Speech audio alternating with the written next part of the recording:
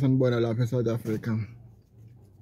Sithembe yonke into ihamba kahle nisahleli kahle yes so siboneni la?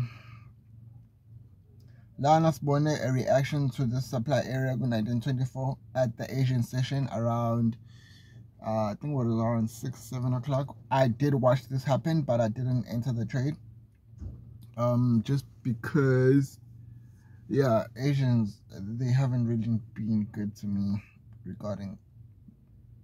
And so now what we experience is that london has opened. Previously on the previous times what we have experienced is asian will set a high and then london will create a high a bit above of that high. Then it will then vamos go. Kodwa manje it seems like um i didn't react to it because i was expecting this to happen during the asian session. And this is not when the asian started nor ended but it's near to when it crossed over. So i couldn't start like i couldn't really trust the information. If this happened around 2 a.m 3 a.m it, it, the session opens then bengizothatha trade again. But because it was mid-session already the highs and lows have been um they have been printed mesizovula kanje i was expecting ukuthi the london is going to open then we're going to see some action around london as well still.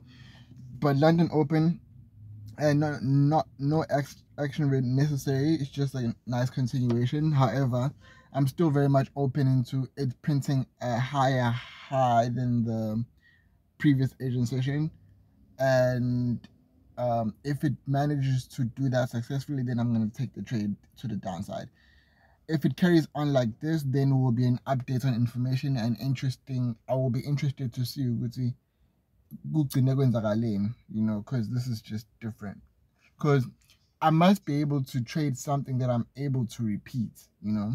So if it does come back i don't expect it to hit the distal line here on 1925.01 i'm expecting it to play within 1924 and 1925 and whatever high that is higher than the asian session i will then take that as my trading opportunity for the downside movement.